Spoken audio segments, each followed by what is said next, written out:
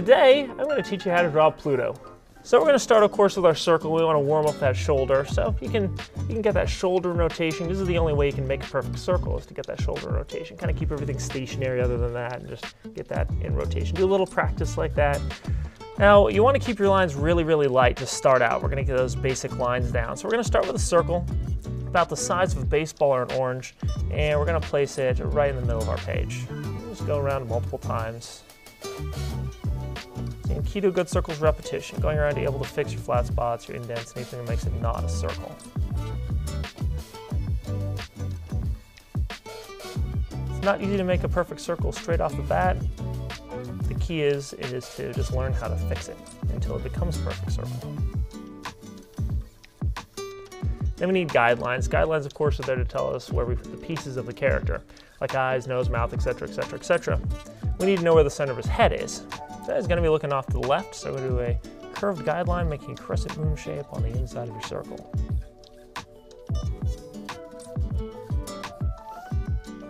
a little horizontal guideline curving across the bottom of your circle as if it were a ball. Now we want to do a little bit of measuring. We'll use our thumb and our index finger, and we can measure from just the left to the right side of the circle, get the width like that. And we'll just slide over so that our index finger touches the side of the circle where our thumb lands. We can just make a little mark. That will help us out with how far out his snout's going to go. And we can draw a little line there if that helps as well. Then what we'll do is from where this horizontal guideline touches the circle, I'm just going to draw a really light line running out into that line out there. And we're going to draw essentially a half circle by curving down and back up, running into the inside of the circle about a quarter of the way down this one. So, runs right back into that guideline again. This just gives us the area of where snout is going to be. All right, now to draw the wrinkles in the top of the snout, uh, we're going to start just to the right of the center guideline right here. On this guideline, I'm going to draw a little curve. It's going to run just outside of the circle on that straight guideline. Then we'll draw a second one running from the bottom of the circle. It's going to stay once again on that same guideline. Then a third. Everything stays straight.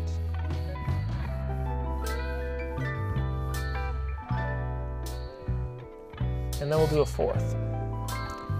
And the thing with the fourth is that we're actually going to continue this up. I'm going to curve above the guideline and then run down into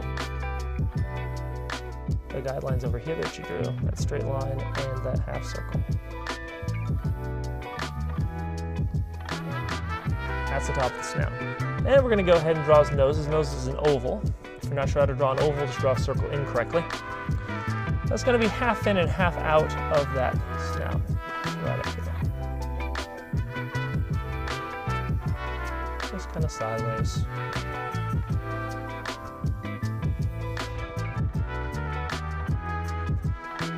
All right, now we can go back to that first wrinkle in the snout and or muzzle. The whole area can also be called the muzzle. And we're gonna draw a little curve going above the line and running down into the guideline just on the other side of this line right there. That's actually his cheek. Then just on the guideline, following the same curve as the cheek above it, we got a little dimple, a little corner of the mouth right there. Then what we're gonna do is we're gonna go back to the middle of the nose, just straight down, just a little bit below it, can be lined up across from, from this line right here. And I'm gonna curve down a little bit, and then I'm just gonna go straight across, gonna flatten out and up into the middle of that dimple. That gives us the top of the mouth. And then we can just run over here and drag this line into that line. That gives us the entire top of his muzzle. All right. We're gonna see his bottom lip. He has a little bit of an underbite, so I'm gonna push his bottom lip out in front. And we're gonna curve back. So a smooth curve, yeah, almost uh, like a very shallow question mark. And then from there, we can just follow this line, just connecting to the bottom lip right there. Just follow that half circle we drew. And once I get about here, I'm gonna curve in just a little bit back, running into the bottom of the circle. It gives a little bit more curvature and gives us chin.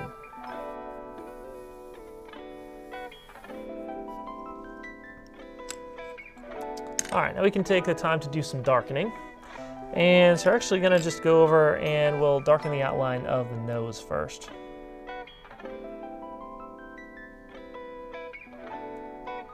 Now he's a puppy, he's got a wet puppy nose, so the light's reflecting off of that nose, so we can show that with a little glimmer of light in the top, a little oval in the top of the nose.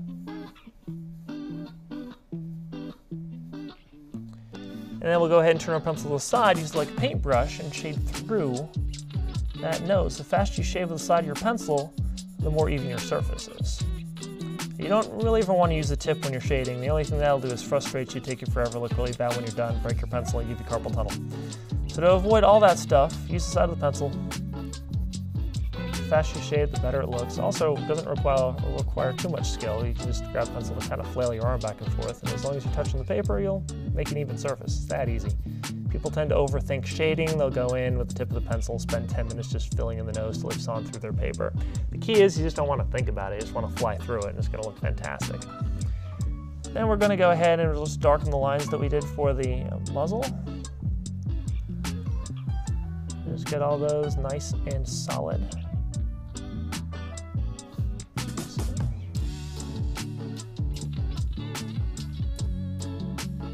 Pluto actually made his first appearance in September of 1930 in a cartoon called The Chain Gang. It was a Mickey Mouse cartoon, and Pluto actually played um, two different bloodhounds who were sent after Mickey, who had just escaped from jail, Mickey was a bad boy. And um, his second appearance, he actually showed up as Minnie's dog, and he had the name of Rover. And then by the cartoon The Moose Hunt, uh, they actually decided to change his name to Pluto because the big news at the time in the newspapers was, hey, scientists discovered the existence of a new planet. Of course, it's been downgraded since then. So he got his name changed to Pluto. Also in the cartoon The Moose Hunt, Pluto actually talks.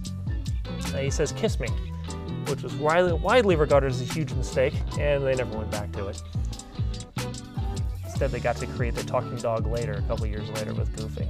All right, let's give him some whiskers, some little dots in there, short little hairs on the ends, make sure they're short. He's a dog, not a cat. Pluto is actually a bloodhound. All right. Now we're to go ahead and we're going to get the eyes in place. And we're going to use the center guideline right here. And I'm going to draw a curve going up to the top of the circle. And then I'm going to shoot down into the cheek. That gives us one eye. Now because his head is turned away from us, that means that everything on the left side of the guideline is farther away. So we're going to go about a quarter of the way down the eye and draw a little curve just running right outside the circle. And that gives us a little bit smaller eye. That's, that's perspective. Things in the foreground are larger than things in the background, which appear smaller. Then we get the eyebrows. Eyebrows follow the same curve as the top of the eye, so we just hook above the eye there, and hook above this eye.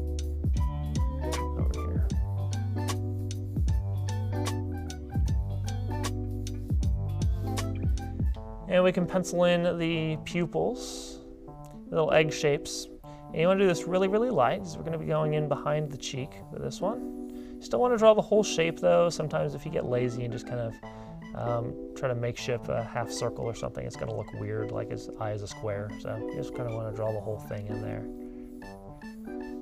And over here we draw a little hook shape. You want to make sure you get that curve away from the side of the eye as well.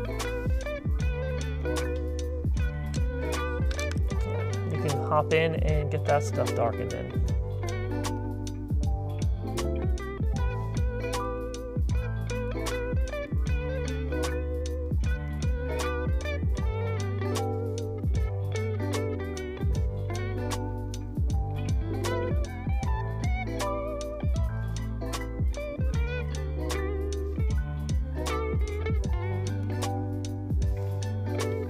Pupils, you can add a little glimmer of light to the inside, just add a little bit of life to them, just a little ball of light.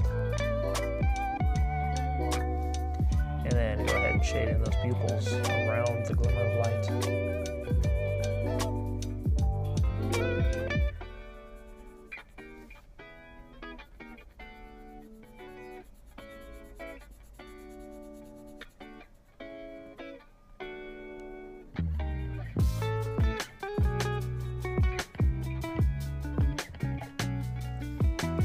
All right, we get his ears next. His ears are long, stretched out letter U shapes, like if you took a letter U and stretched it out like taffy.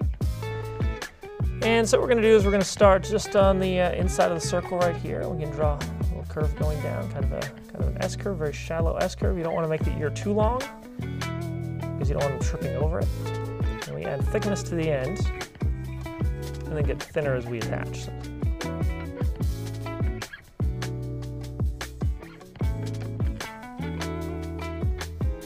a little muscle holding that ear in place, just a little U shape going behind it. And then you can just, once you're happy with it, darken it.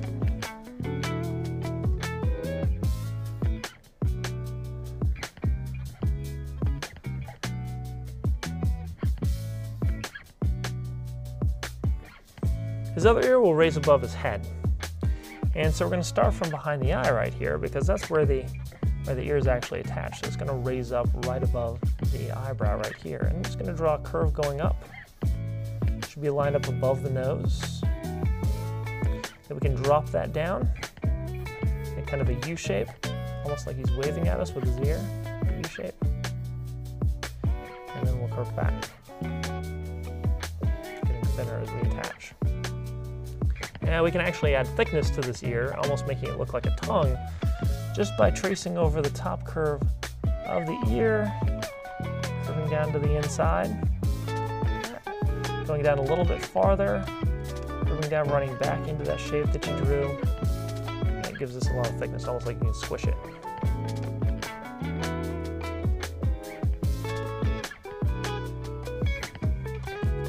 Once you've got that, you can go ahead and shade in those ears as well. Remember, you're doing using the side of your pencil shade really, really fast.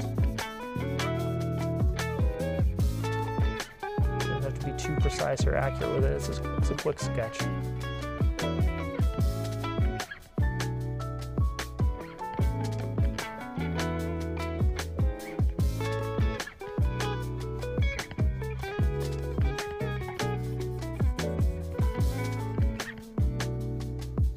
On the back of his head, he's got a bump.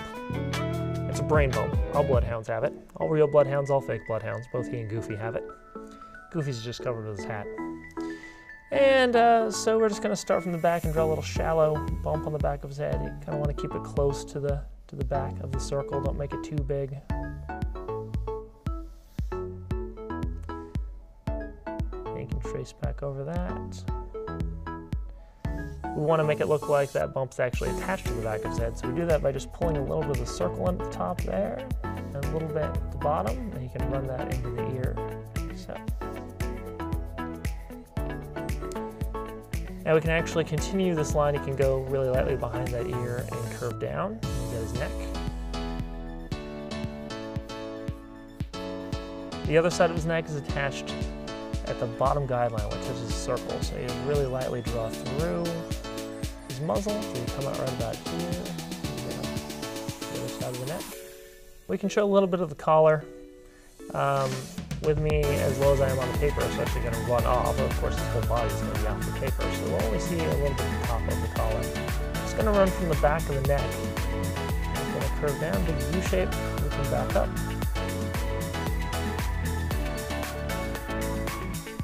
Trace back over that. That gives us the opportunity to actually finish this attachment to his neck, because his neck's not just floating there, attached to his body. So we draw a little curve for the body. And then we can draw kind of a parallel curve to this U shape, just starting from behind the neck. Curve around, running off the paper. It's important that if you do run out of room that you do just run off the paper. It's always going to look better to run off the paper than it does to try to smash it in there or give them a teeny tiny little collar just to make it fit. Uh, and then we can see the back of the collar should be right in there by the ear. The other side, if you have room, would just be straight down below it. And from behind the ear, you can get the